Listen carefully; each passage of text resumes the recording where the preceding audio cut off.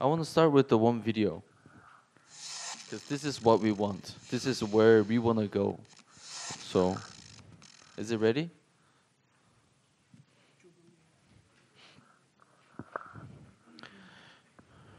You know, we all know that the youth ministry is very, very important. However, you know, to tell you the truth, youth ministry does not give us the result right away. You know, ministering to, outreaching to just uh, regular folks, you know, will give us the better result. Youth ministry is the, it takes a lot of effort, a lot of money, a lot of time, patience, and everything. And however, without you know youth ministry, there's no future. That's definite. So, know, we want to go through uh, a lot of. I'll, try to go through many cases, um, and also, I like to hear a lot from you because I know we are all from a different backgrounds, different backgrounds, different ministry, and different type of ideas. So tomorrow, and we'll have a a very interesting discussing sessions. Where we forming groups and we'll give ideas and then and by the end of um, this academy on the fourth day we will have some different kind of the view of the youth ministry. The my my goal is the youth ministry is not only important but to you i want to make it easy fun and hopeful. That's my goal. Okay let us watch the video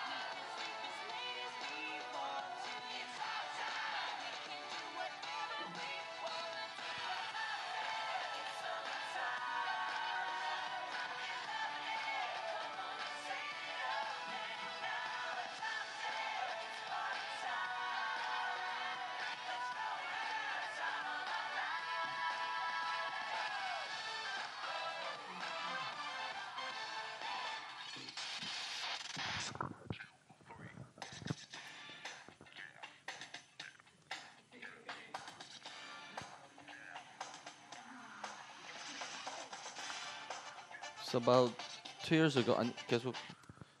Can you? Yeah. About two years ago, there were just a regular Sunday school kids, just a very ordinary Sunday school kids. And then, and we formed a dance team. We named it Safari. You know, and then we started training them. It was about starting two years ago, and now, and I will show you the other uh, presentation. They perform dances in like Japan, Taiwan, and Hong Kong, and Korea, and in many Bible conferences and church events. And also, and not only they are just good at it, became good at it, and their heart towards the gospel and their passion and they they consider church work a very very important they make it a priority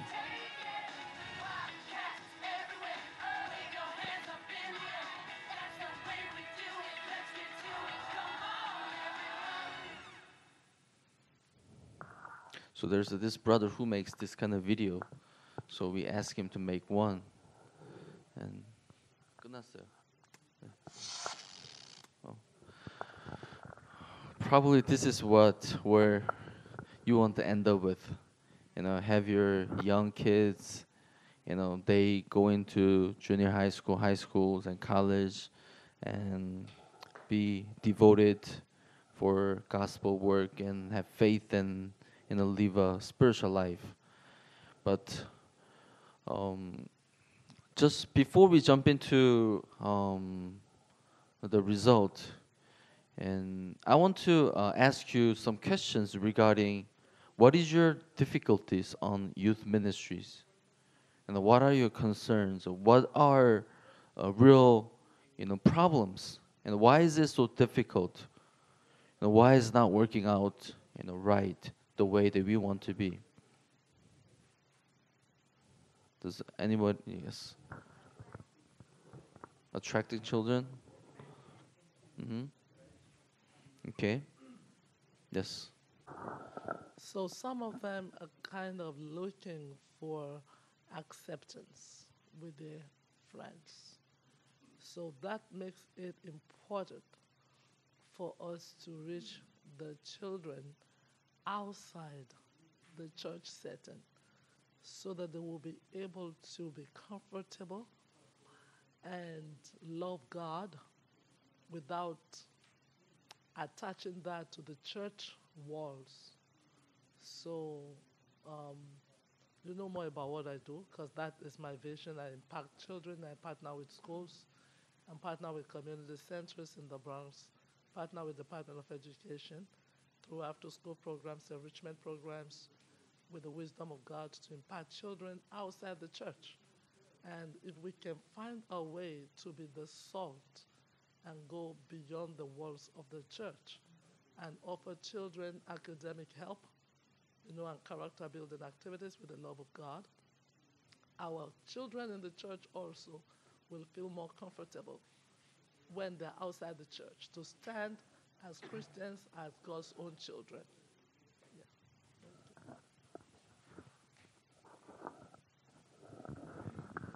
One of the other challenges is, involvement. Um, there are some children that will naturally um, be go-getters and, and, and volunteer, but there are some who will always be on the sidelines, on the shadows, and just to find opportunities to get them involved with something um, you know, just to reach them. You, you, know, all children have a background and, and some issues with um, why they are the way they are. But just some techniques, I believe, to help us to how do we pull out the best in them and find the, the area that they, they, that's their heart and passion and deliver that to them so they can really be a part. I think that's one of the challenges we have in the church as well.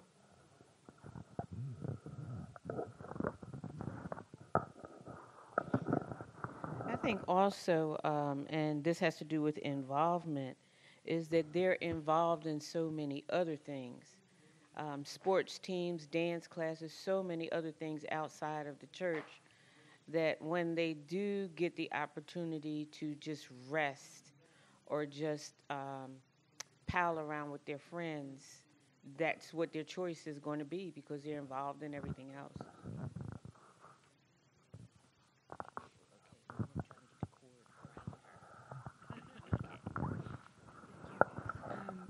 Uh, to find a way to revive the youth that's already in the church and you know we're born and raised in the church and it's become a routine. So they're not passionate about it anymore. They do it because their parents tell them to do it but um, i just want to bring or find a way to bring revival to the youth once again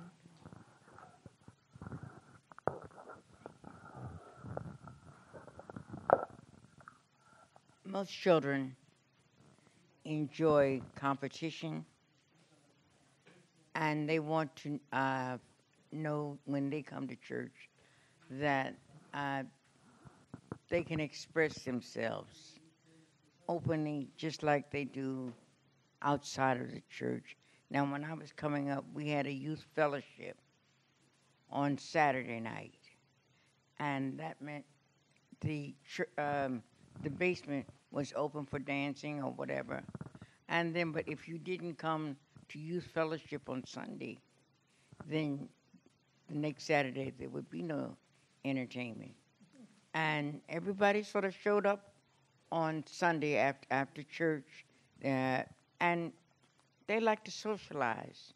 But we make the church look like and seem like it's all about religion. And on Sunday morning, it is. But there should be a time for the children's hour on so that they can express themselves also. It's me again. the the other thing too is we tend to forget we're so busy trying to be innovative and come up with new new things. And a lot of them have the desire to do some of the old stuff like build birdhouses and build go karts and sew and do those things that are kind of mundane, but we don't do them anymore. Take them on trips and things like that.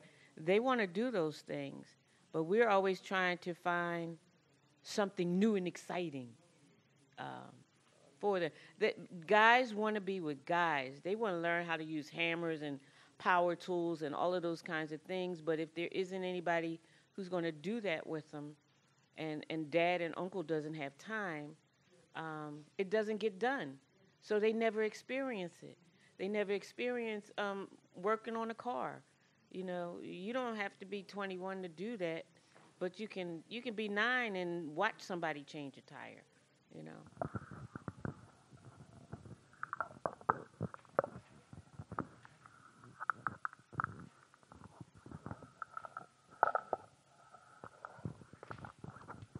Yeah, what, what I want to say is something very important. The, um, I have a nephew. Actually, my, the, my wife's nephew. And um, when he came to my house, he came with addictions. He was, he was uh, when we started doing these addictions is when he was like 12, 13. To be a kid, being drug addict in that age is too hard, right? Is too dangerous. So when, I, when he went to my house, I told my wife I don't want him in my house because I don't know if I can straight him or not. But anyway, he ended living in my house because his wife, his uh, mom, she don't like him because the addiction he, he had. So he ended in my house. And then I told my wife, okay, I'm going to take him to the church because Every kid, everybody, not only kids, all of us, we have to be guided by God, by the Word of God.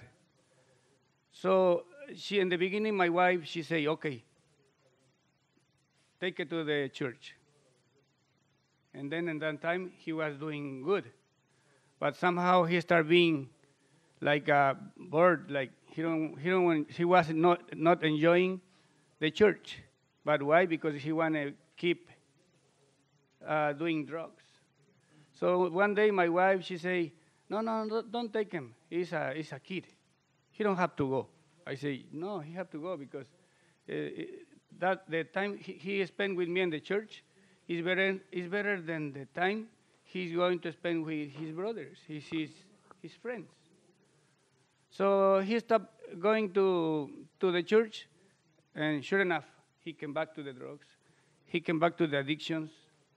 Why? Because he stopped being guided by the Word of God. So that's it, that is why it's very important to be guided by the Word of God. Doesn't matter if they don't want to go, if they go over there and sleep, or start being like maybe doing like forced to be there, but they have to be there. Uh, I invite my, my sons, they are, they are old, my sons, and I have seven grandchildren. And all the time I told them, we have to go to the church. Of course, they don't go often, but God is going to take them to the church. According with my eyes, they not there. But according with the God's eyes, they there. They there. The only thing I have to do is believe. So that's, that's why it's very important for us to take them to the church. And uh, God is going to guide all of us, the parents, all our families. And that, that's all. Okay. Um, I know uh, most of us we come in like uh, different country, different culture. So um, as a, as I'm Sudanese, so we have in uh, my country, and I believe uh, most of the country, like the kids when they growing up, uh, they stay with the parents in the house until they get married, and then they have their own houses. But in uh, this country, like you can see the kids, like when they turn 18, they're gonna say, "Mama or Daddy, I'm a grown up. I'm 18. I have to get my own place." And uh, and they still for us like uh, culture is not uh, uh, good. It's not good for the kids. They get out like 18, and they when they get out 18, they get their own places. We never know what they're doing. Um, so that's why when I choose to be like to come to this class, even although I work with the uh, a youth um, Sunday school class in my country, but when I come here, I saw like very different very difficult to raise the kids. So I have a teenager from college, high school, and middle school, and even it's too hard to, you know, like to raise them up. I took, you know, they go in the church with me, and they believe, but they are as kids so they just go to the church because their parents going to the church. But we we have to find a way like to raise the kids up uh, from the uh, as the kids so they can know God well. So because sometimes when they go with you in a church, when they're growing up and they can do whatever they do, uh, or when they turn 18, 19, they're gonna say, okay, now I have this uh, decision to uh, to make because I'm growing up. If I because I know a lot of parents from Sudan when we go to church, they pay, uh, their kids they don't go to church, but they come in the church. And okay, why you coming in the church and your kids they don't come in the church? So that is very important to do. As you know, we come in a different country to raising the kids in uh, uh, Christ, so we can save them too. So nobody, you know, like nobody can save other, but the God, He's the only one gonna change their heart. So that's all I wanna say. So the first things we have to, do as a parents, we believe in God, so we can raise in the kids the hand of God.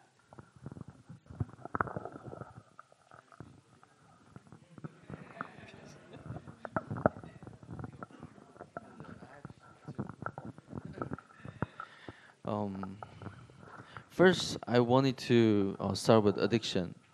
You know, he mentioned about addiction, and we experience a lot of addictions nowadays, like smoking, nicotine, alcohol, drugs, computer games, cell phones, and so many to, you know, maybe some of you are addicted to something.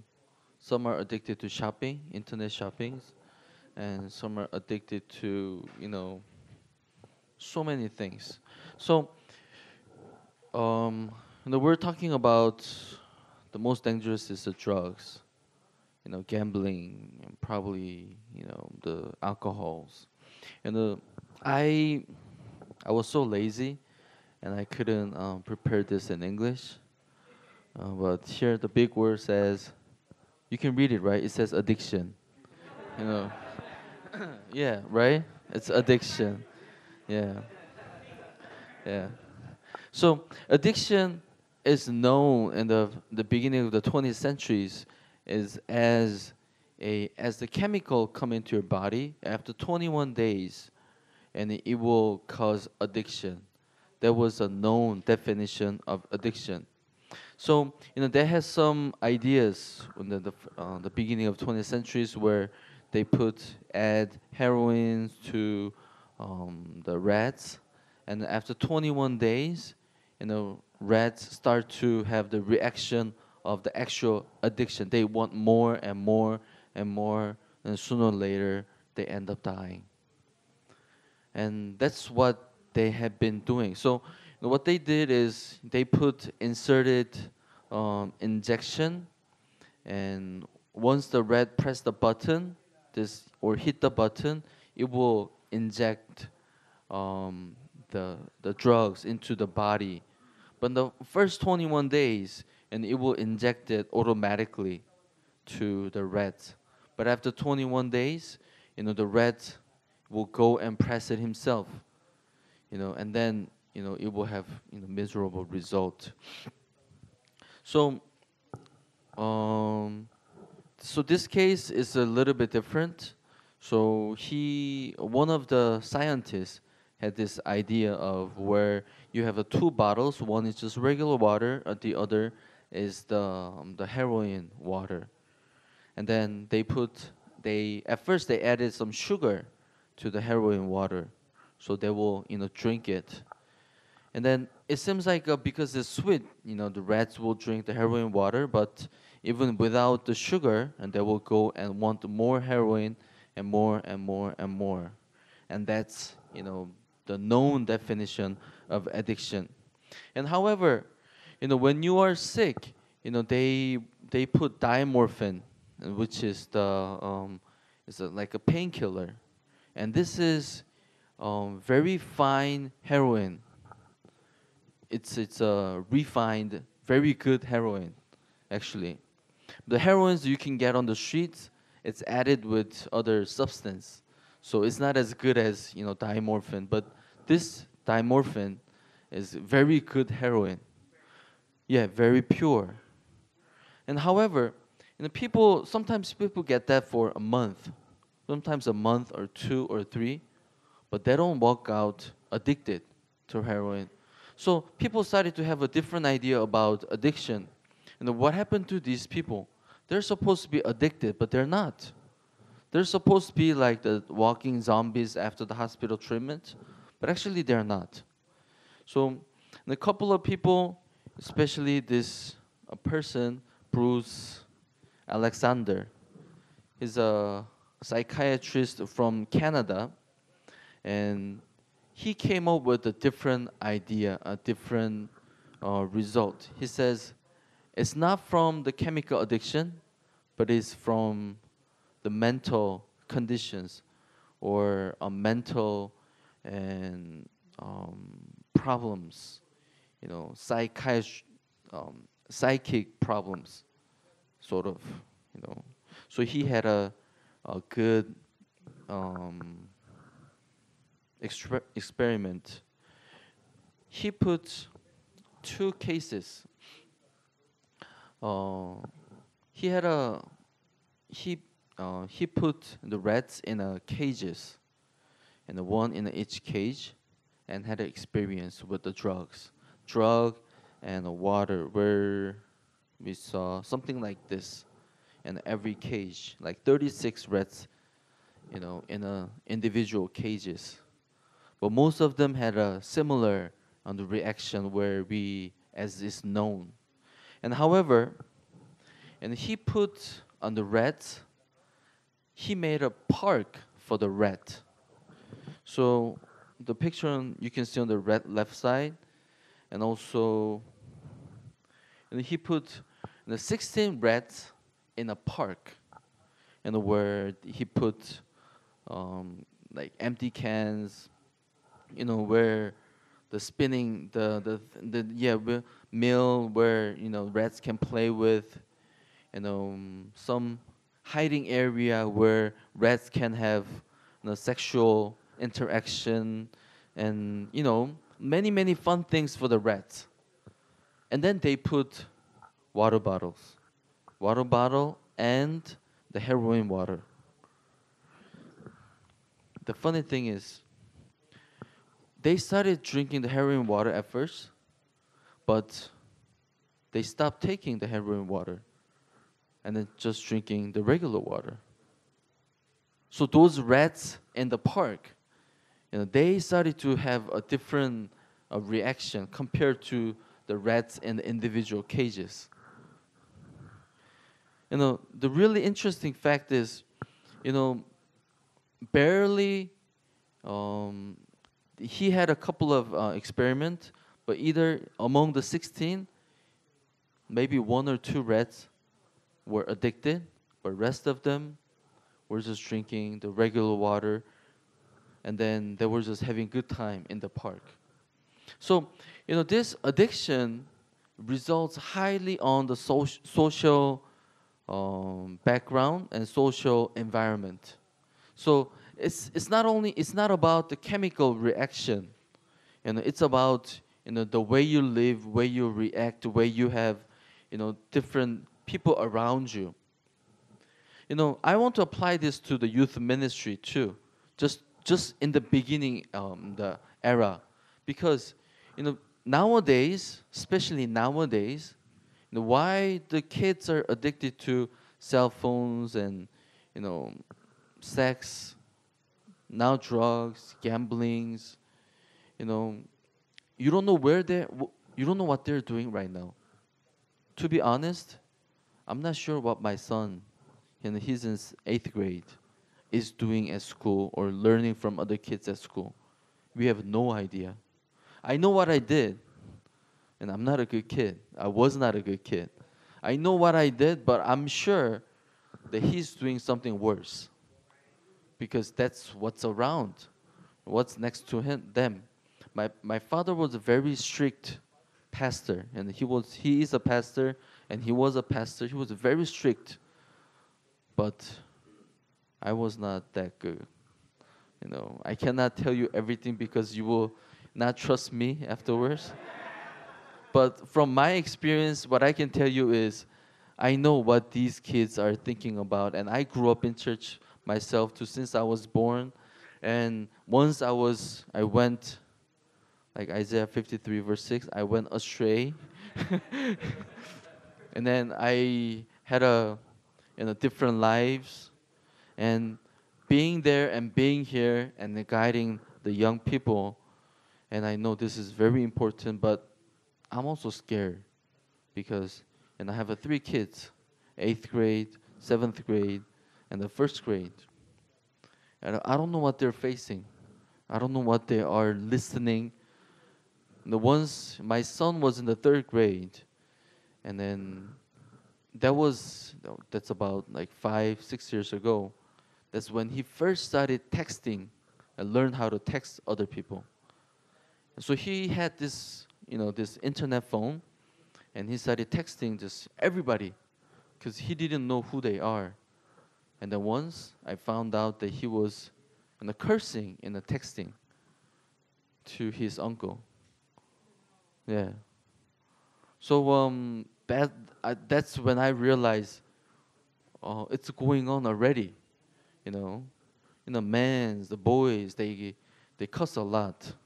You know, the moms never know. You know, they they never know, but the boys, you know, starting from like second grade, the third grade, you know, they're really bad. But when they come home, they're cute. Yeah. So they're, they're like, they're, they're two faced. You know, that's what you have to realize. So, you know, this apply to, this can be applied to a Vietnam War. You know, during the Vietnamese War, um, some of you may know, I think she knows, you know, a lot of people experienced the heroin addiction because it was horrible every day was like literally hell. The, your friends, your colleagues just die right next to you, and you have to go through shootings, bombings, burnings every day. and then to overcome such pressure, and then many soldiers took heroin. It when it was allowed. And then once the war was finished, the people in the states were very worried because you know these heroin addicted soldiers are coming back to our mainland. Now, what are we going to do?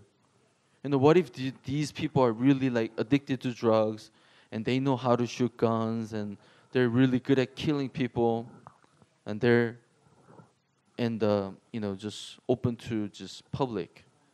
However, over 90% of the those addicted soldiers had no trouble going back to their normal life. They 90% of the people never went to like rehab centers or took any educations or courses to quit drugs, but they just normally went back to their life and family and friends. And then, so addiction, and we can say this is from, this is coming from isolation. This is coming from, you know, we can say this is coming from, you know, not being loved or not having that expressed to yourself. You know, that cause addictions. This is something not only the pastor should know, the parents should also know, and the friends and the kids, they should know each other. So, you know, if you can only, you know, you can say the one big word is the drug, and one on top is cigarettes, you know, the games and drugs and sex and alcohol, it's around them. So, and all these idea of addiction actually happens when you feel lonely, when you feel it's difficult, when you feel despair, when you feel you know, sad and depressed. So, you know, I want to tell you addiction actually is not the problem. You know, curing addiction is very easy. Such as the Vietnamese War, during the Vietnamese War, people were addicted. Soldiers needed heroin to fight. But for them to quit heroin was like this. They didn't even have to try. You know, in my church, you know, Pastor Ock Soo Park, you know, I'm also in Good News Mission Church, and he sends me, I think he loves me a lot. He sends me a lot of troublemakers, alcoholics, drug addicts.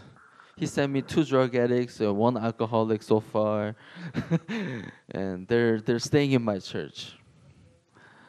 And the one of one kid, uh, he's right now in America, in this place, uh, as a overseas volunteer, and he was from Australia.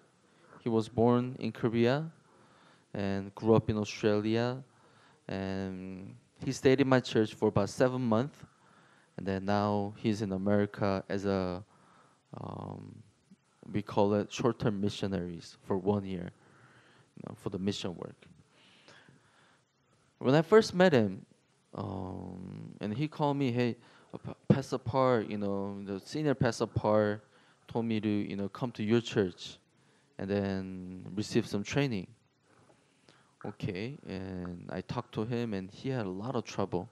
He started doing drugs like 12 and 13, just like he said, and he started selling drugs when he was 16 and 17, and and then mm, he's 20 years old, and he's involved. He he says, you know, Pastor, I made a lot of money. I never had trouble with money because I sold drugs. My mom never knew and I'm a good kid in a church, and I'm a good kid to my mom. But I fight, I sell drugs, I do this, and then you can imagine, you know, he's selling drugs. And he came to my church, and you know, I'm actually I'm not. Um, I had a lot of um, outside the ministry than what I do in my church and then I see him maybe once a week or once every other week. And about a few months later, about three, four months later, and he told me, "Uh, Pastor, when I first came to your church, it was really hard because I wanted to do drugs. And he came to Korea because he caused some trouble in Australia and he couldn't stay in Australia for a while. And he came to Korea and met with the senior pastor Park and then he said, you know, you should stay in Korea for about six, seven months and go to other country for the uh, the mission trip for a year. And he took that advice. And I want to change my life, he said. And then when he first came, he really wanted to do drugs, you know. You know, probably that you have met a drug addicted you the people next to you. And there was like third week that he haven't had drugs. And it was pretty bad, he said. But something strange happened to him because, you know, there are other, you know, the youngsters staying in, living in my church, and we have about total of eight um, college kids, and then above college, like from age from 20 to like 30, -ish, you know, there we have about eight kids, and then he started talking to, you know, others. And then somehow he said, you know, he said, you know, I just started talking to them about this and this, my life and their life. And some are pastors' kids, some had really um, hard life. You know, the kids in my church, this pastor's kid, and he was bullied in his high school, uh, pretty bad. And then he went to seminary school to become a pastor, but um, he quit himself. And then he just went outside and drinking, smoking, and just working, you know, part times. And then I actually I called him, hey, why don't you come to my church and stay with me and help me? Because and I became busier and busier. And I need a person like you to help me out for you know, time to time. So when you can get a you know part-time job, you can go ahead and work. But you know, when I ask you to help me, you can come and help me. He first came, you know, you know we have a um, uh, early morning service at 5:30. I asked him to come to service at 5:30, and he said yes, pastor. And the next morning he came to service at 5:30. And then you know, following day he came to service at 5:30. But later I realized to come to service at 5:30, he doesn't sleep. He stays up all night long just to come to the 5:30 service. And then as soon as it's over, he goes back to sleep until dinner time. yeah, right? Just to show up, you know, because I told him so. So I said, "What's better? Coming to that service at 5:30 and sleep all day long or sleep at night and not come to service?" And then I couldn't push him any further. You know, but sometimes he comes on and off. And there's this kid, and there's other a pastor's daughter, and she, he, her father, was an alcoholic before he became a pastor. He became a pastor about um, yeah three about three years ago, and then he was a really bad alcoholic, and then he changed one day and he became a pastor. And then when when her father was when she was in her junior high school, he was really bad. He would come home at come home at two two in the mornings or three in the mornings and start yelling at the families and you know causing all this trouble. So she left house when as soon as she left house at when she was in 10th grade. Ever since that, uh, until from that time to when she turned 21, um, she didn't come home. And then the sad thing is, she um, she was staying with her friends, um, you know, working at bars, you know, like almost like almost like a prostitute, almost not completely. And then she met a guy who's, you know, she married a guy who takes care of you know, those girls. And then he borrowed about like fifty thousand dollars from her, and and he does not pay back, and he doesn't he his license driver's driver's license was revoked, but he drives a car. He got caught. He went to jail, and he borrowed more money with, you know, of course he has no credit, and she borrowed money, and she she was paying back, and that's that's when I met her. And then, and I said, "You want to come to my church?"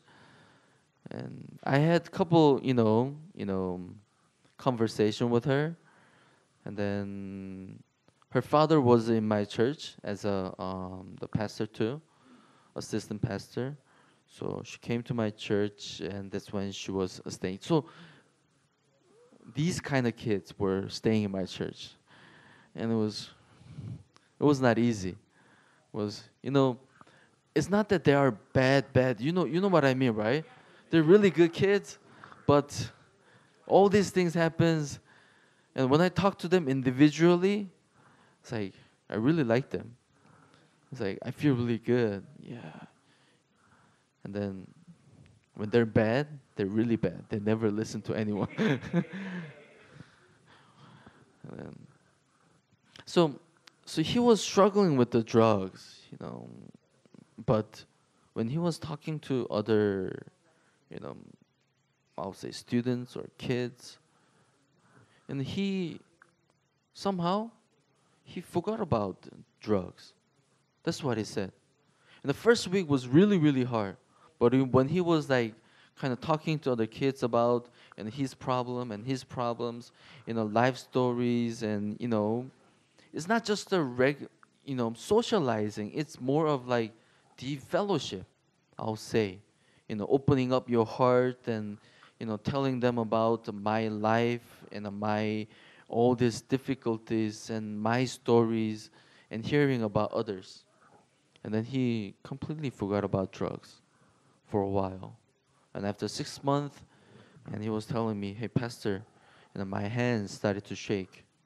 Nowadays, and then I realized, you know, it's coming. It's you know, it's it's it's uh, it's uh, going out of his body. It takes about six months to, you know, for uh, the weed to get out. You know, you know, be, you know, yeah, completely out of your system. Now, he's in America, and he told me it's really difficult, and as a being a short-term missionary, and he says he wants to go back home, but he's happy. You know, and I want to tell you this: uh, addiction is not. It's nothing. You know, I I, I have spoken to this um, this professional and who speak to the alcoholics in the prison. And then the lady said, and addiction is not the addiction we know. Addiction is uh, losing a control where um, where we should consume, we, where we can consume more, or we should stop. It's about losing the control. So getting out of addiction, alcoholism is very, really, really easy. And when you know that you lost the control, that means you should ask, can I drink more alcohol or should I stop?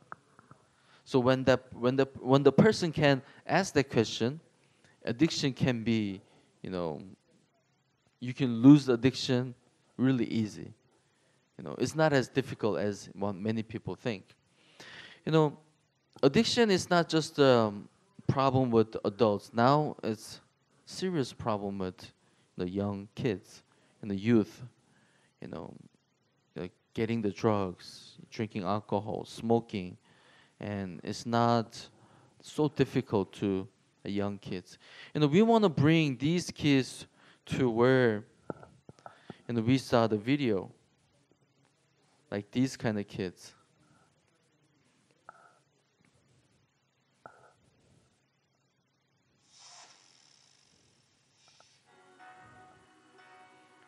You know.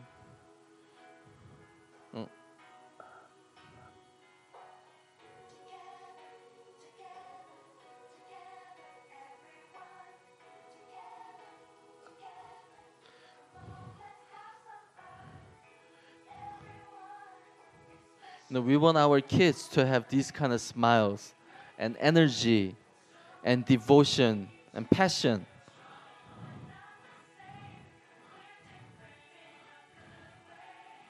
And I want to tell you about two years ago, there were just regular Sunday school kids who don't want to come to church, who don't want to get involved, and all the issues that you have been talking about.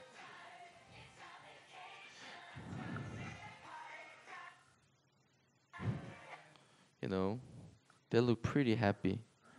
You know, and I want to tell you a little bit more about um, about them.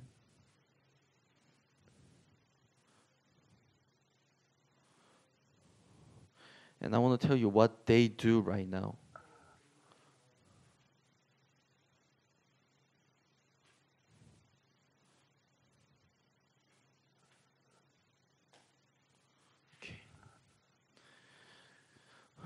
As you can read, they dance happiness. Yeah, right? Safari dance team. And the safari is the is the Swahili word in uh, East Africa means to travel. You know, they travel uh, with happiness. They travel uh, to a different world. And then they with the heart of the Bible and the strong mind, and they go through the new challenge. Is their motto.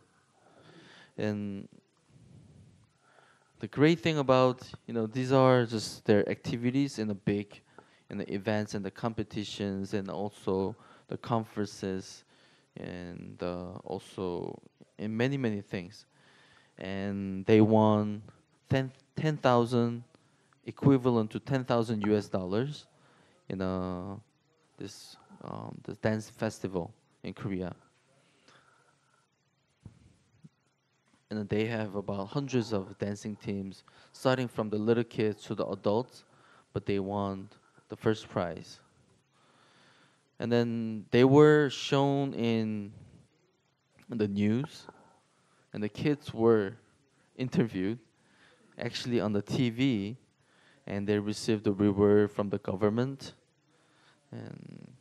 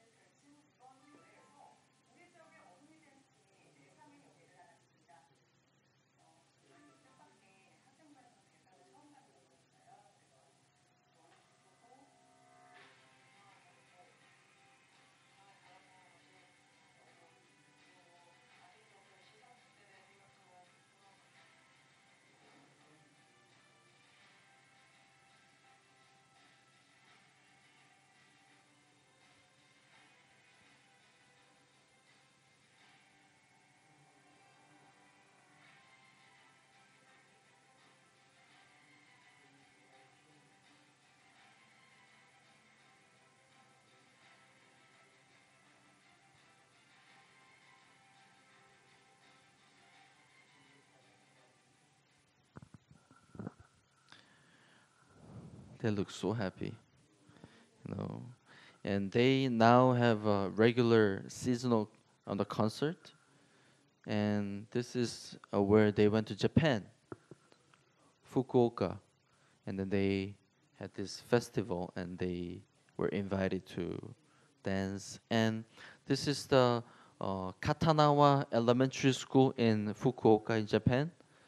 and they perform in front of the the, the elementary school kids, and they also had uh, the time to interact with the other elementary school kids, giving a really good, you know, atmosphere and energy to other kids as well. And they were invited by you know Ghana, um, the embassy for their um, independent anniversary anniversaries programs. And so they're actually invited to this Algerian embassy the day of independence in, on Women's Day, and they were invited to perform. And actually, now that this, these young kids are preaching with the Bible to other kids. And this is Hong Kong, the YMCA concert for the disabled uh, students. Um, and this is uh, Japan, Osaka, and this is Korea, and this is the um, the newspaper on the right is the Chosun Daily, which is the the top newspaper like a New York Times in America, and this is a kids section where they had a one full page of about you know their life and their story, and another in the news.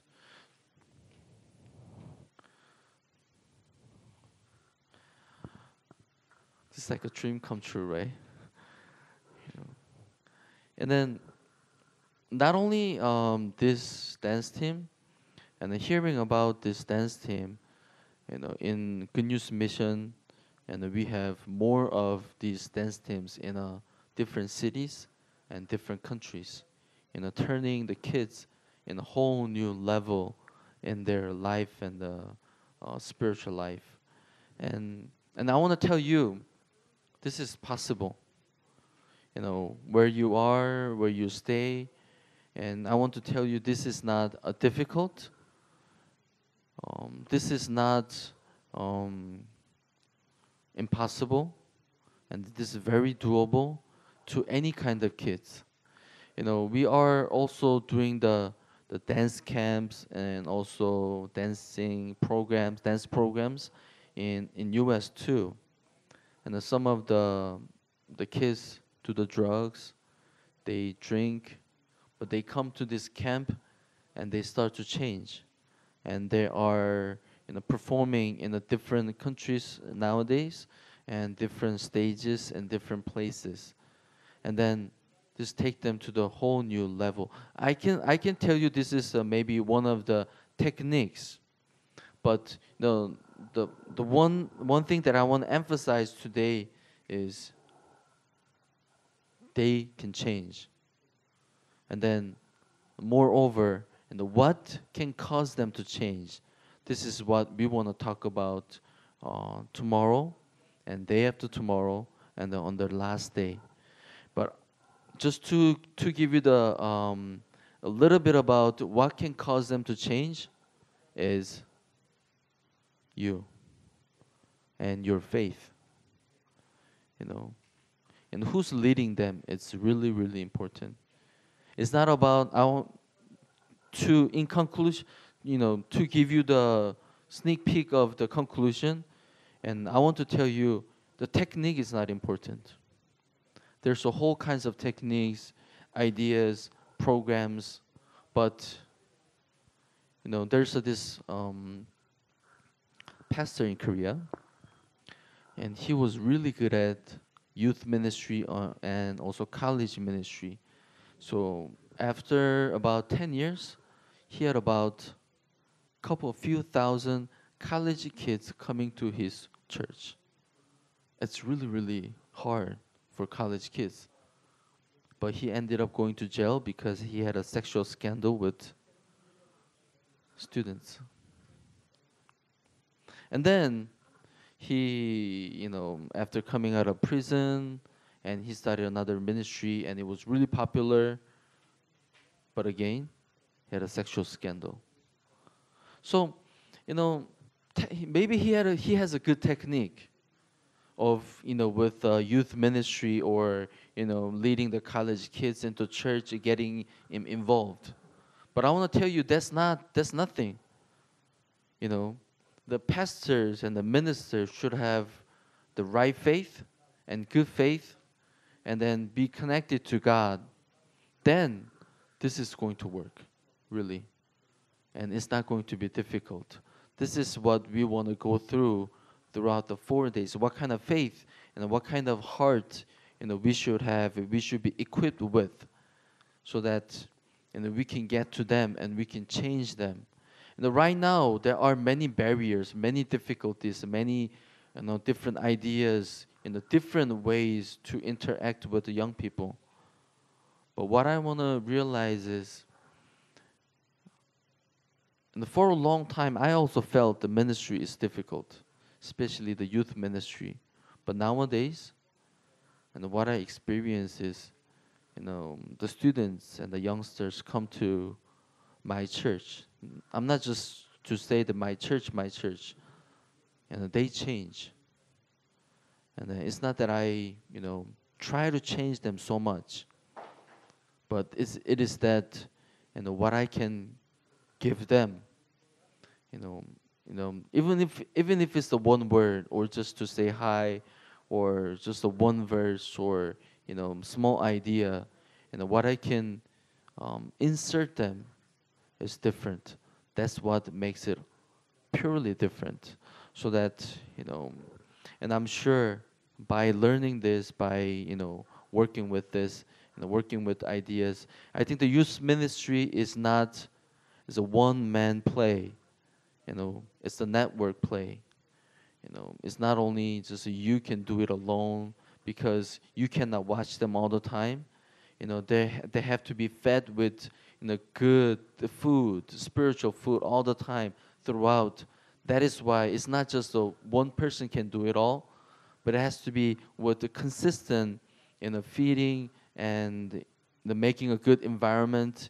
You know, even you know, parents have to work together, pastors should work together, friends have to work together. So we have to reach so many areas, and we should pay attention to so many you know peoples around them. But however, this is very worth it and very fruitful. Moreover, this will give you so much energy after all, and you will love it and that's the youth ministry, right? So that's why we are here. And tomorrow, and we'll um, put in, put I'll put you into the the groups, and then we will have time to discuss uh, many many things, but it, it in a very new way of discussion, and you'll be a little bit um, surprised, you know, how this end up. And however, and it's very uh, um, uh, effective, and I will say, and it will give you the new idea, and it will give you uh, some kind of you know um, your you know way of you know another way of you know different way of you know seeing and different way of you know doing the youth ministry and then and we'll wrap up with um, our ourselves our faith at the end. So, okay, right. Um, does anyone have any questions or something that you want to share? We have about you know 10, 15 minutes. Yes. Thank you so very much. Um, one thing you said that we are very important in the youth ministry. Um, a lot of times we think it's the kids, but it is us, the heart that we have for them, the faith that we have in God, and the faith that we have in them. It goes a long way.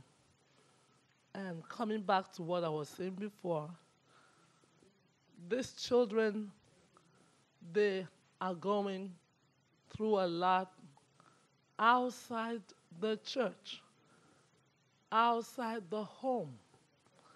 And if we're going to reach these children, we have to go where they're comfortable the most. That is in the schools, that is in the community centers, we have to see beyond this kids coming to church. We have to get involved. Recently, the President of the United States just um, signed to law that the Bible could be a, a subject in the school. However, it is not mandatory for people to attend, but it could be an option. So that's what I do in my program.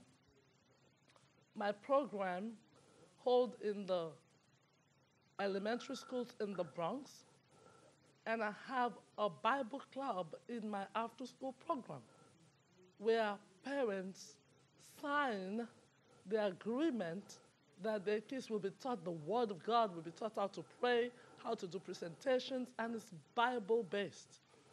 I have dance clubs for those who don't want to. I have robotics club for those who want to, and the different options. So now the children who are Christians, they'll feel comfortable. There are parents who are not children who are not um, Christians, but their children want to come to the Bible club because they love the song, they love the dance, they love what we do. And we're not imposing on them, but because they see they love it. I think as youth ministers and workers, we need to see beyond our church environment and go to where the kids will feel comfortable. I, I realized that working and partnering with the Department of Education, the Department of Health, there are a lot of ministers, Christians, pastors, reverends who work in this um, departments, but you will never know. They won't even say, God bless you. In fact, they're the one that is worse. They go with the straight face, like, don't talk about religion. We're not imposing our religion. But your philosophy must guide your actions. You should not be afraid to say, God bless you. Even when I go there and say, God bless you, some of them, they will say, thank you. Because they do not want to identify. Then later I start finding out that was a min- that is a minister in her church. And I said, God bless you. They won't even say thank you. We have to be able to stand for Christ. We must be able to be proud of who we are in Christ. This is how we can influence our society. We are the salt, we are the, we are the light. If our children see us being too politically correct, that we're not even willing to stand for Christ in our regular life, how do we expect them to come to church and be so God, God, everything? No. So let us, as youth workers, show to these children in our day to day life that we are first Christians, then lawyers, then teachers, then educators. We respect everybody, we love everybody. But everything we do stem out of the love we have for Jesus. And if they see that in our day to day life, they'll be bold also to stand in the midst of all this pleasure. Thank you.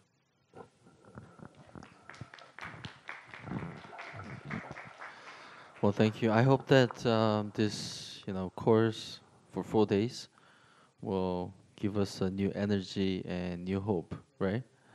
Okay, let us pray and we'll finish the class.